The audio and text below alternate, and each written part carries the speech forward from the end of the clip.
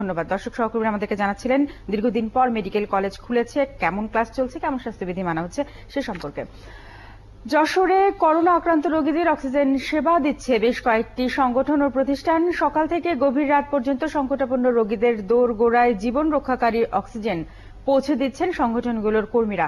রোগী স্বজনরা জানান, তাদের এই সেবা মৃত্যু হার কমিয়েছে। এস এম ফরহাদের তথ্য ছবিতে প্রতিবেদন। সংকটকালে করোনা আক্রান্ত রোগীর পাশে এসে দাঁড়াচ্ছে যশোরের বেশ কয়েকটি সংগঠন। ডাক পেলেই বিনামূল্যে অক্সিজেন সিলিন্ডার রোগীর কাছে পৌঁছে দিচ্ছেন।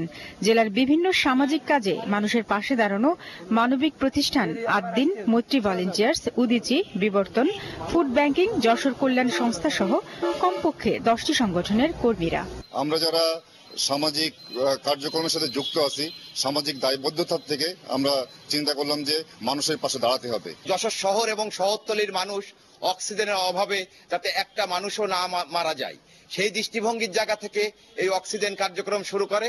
আদ্দিন ওয়েলফেয়ারের তত্ত্বাবধানে যশোর সহ দক্ষিণ পশ্চিমাঞ্চলের সাতটি জেলার দশটি সেন্টারের মাধ্যমে এক হাজার একশো পঞ্চাশটির অধিক অক্সিজেন বিতরণ করায় কিছুটা হলেও স্বস্তি পেয়েছেন অনেকে।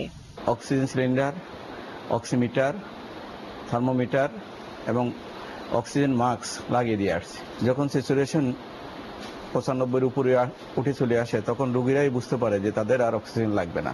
এদিকে সংকটকালে এমন সেবায় খুশি রোগীদের স্বজনরাও। তাদের বলার সাথে সাথে তারা আমার বাসায় পৌঁছায় দিয়েছে এবং তারা সময় মতন আমার যেটা যখন লাগছে এবং খবরাখবর নিচ্ছে। একটু স্বস্তি পেলাম কিন্তু তা বিশ্বাস করতে পারছিলাম না যে ওই মুহূর্তে আসলে যে মহামারী যে অবস্থা আসলে পাবো কিনা।